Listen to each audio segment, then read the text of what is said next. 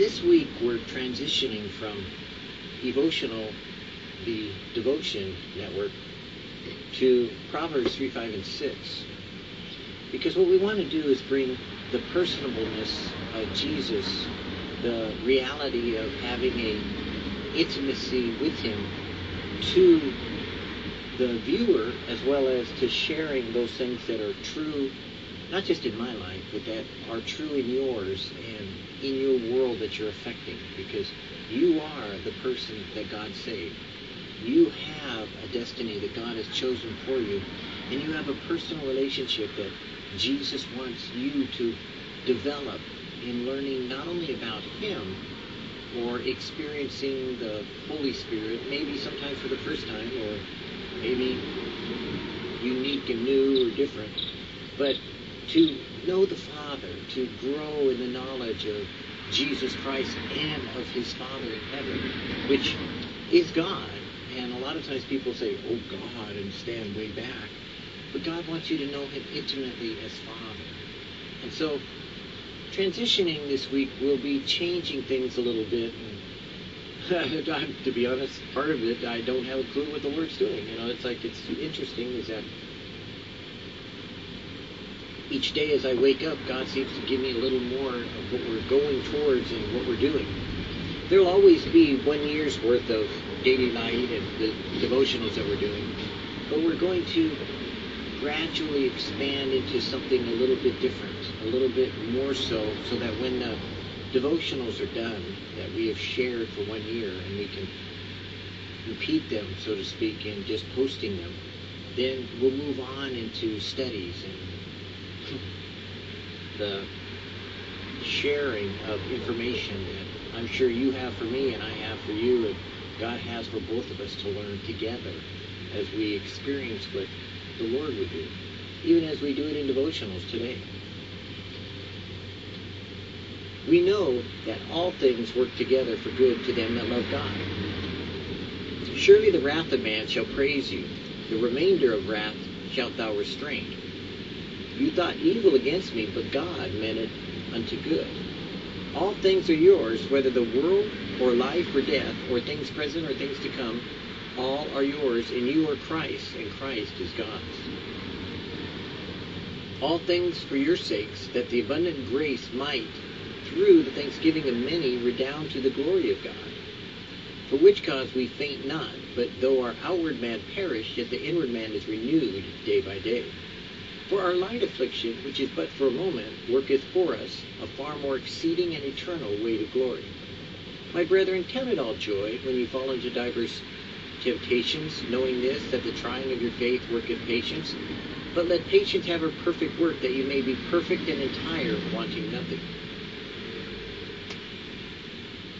We all experience challenges in our life that are going to wrestle with our soul, frustrate our emotions, and cause us to re-examine sometimes our faith until we realize and recognize that they're meant to produce fruit in us.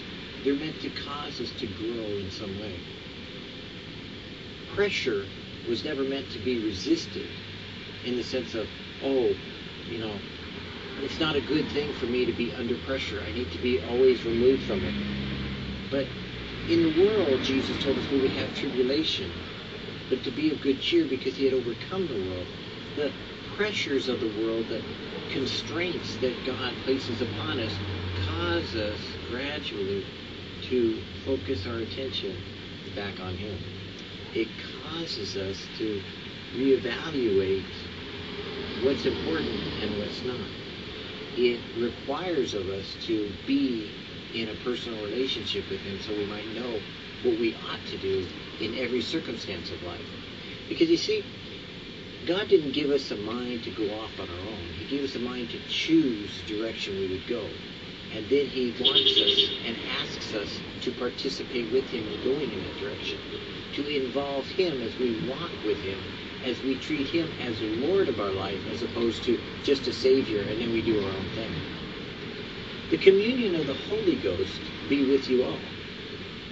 I will pray the Father, and he shall give you another comforter, that he may abide with you forever, even the Spirit of truth whom the world cannot receive because it sees him not, neither knows him, but you know him, for he dwells with you and shall be in you.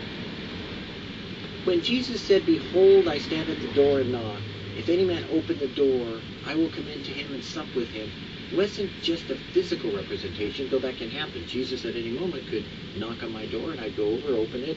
I wouldn't be shocked at all or surprised if he walked in my door and I invited him out here and said, Hey Lord, why don't we just make a video, you and I, and let's let's share with the people what's on your mind, you know, and frankly, I expect that at any moment, at any time. Or there could be a knock at the door and there's Jesus and he says, Follow me and I am zapped walking into heaven and for me it would be looking like at this world, you know, when I'm stepping out of this dimension as though I disappeared in a twinkling of an eye.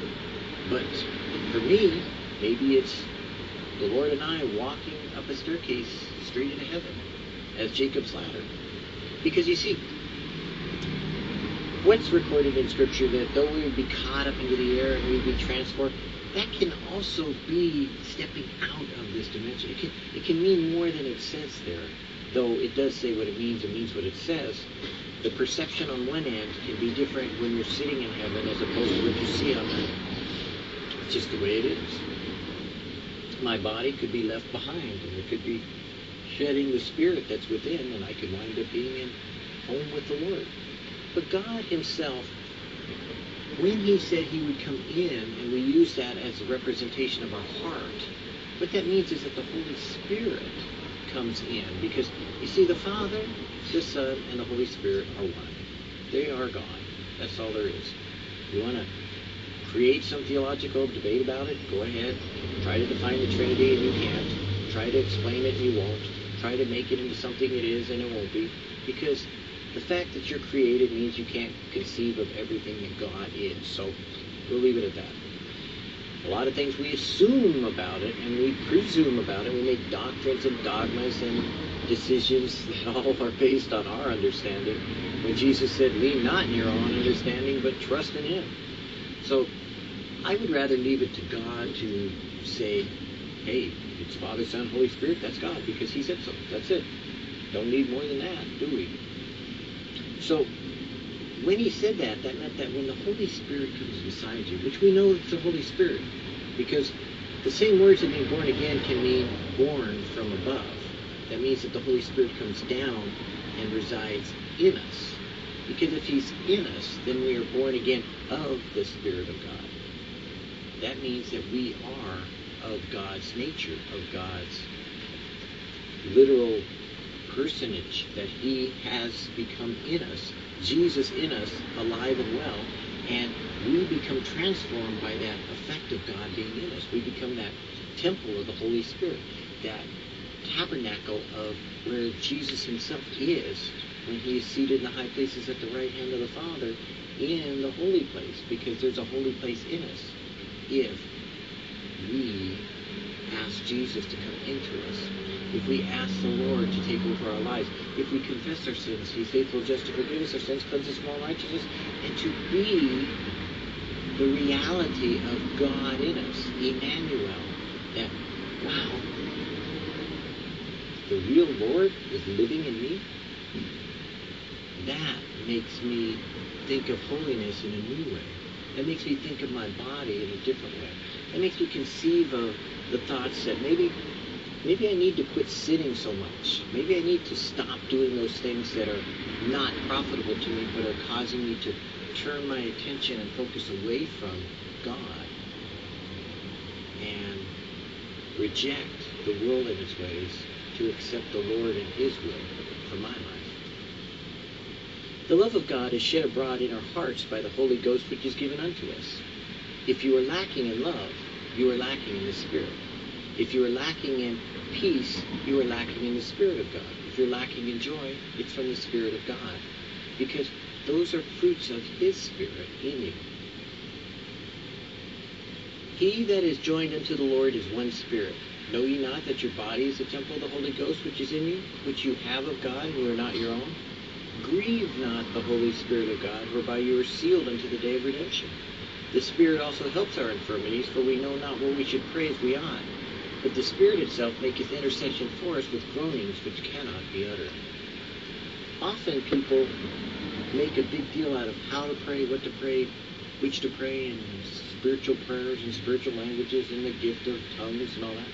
But the reality is that God knows if your heart is true and you care to just share that with the Lord and say, God, help me.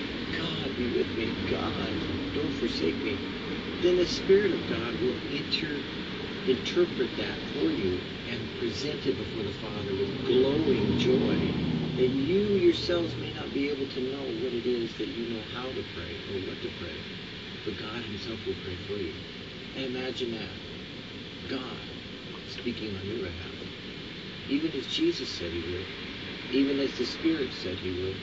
Even as the Father promised they would do as they present your prayers and you before the Father. Because the day will come when we're told that Jesus will present us before the Father with exceeding joy because he will have accomplished by his Spirit all that God intended in you as you were presented faultless before the Father. What a day. What a confidence. What a joy. Because you see, we know, if you're wise, that in us, that is in our flesh, there dwells no good thing.